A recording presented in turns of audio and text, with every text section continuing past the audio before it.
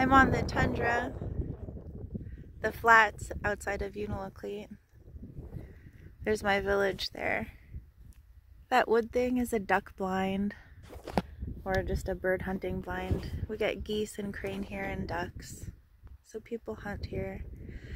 But there's lots of uh, salmon berries slash cloudberries. lots of blueberries everywhere. I'm just plopped down, sitting down. My husband's over there picking berries.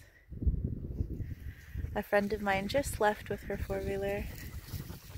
There's my beautiful dog, my husky. He stays clean because he's running in the dew of the tundra.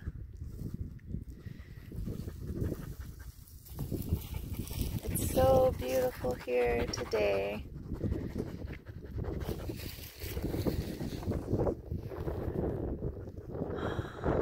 Can ever go to Alaska, go to a remote, remote part of Alaska. Go to the smaller villages, go to the northwestern part. It's truly stunning here. Amazing, peaceful. The smell of the air here is like nowhere else in the whole world, I'm sure.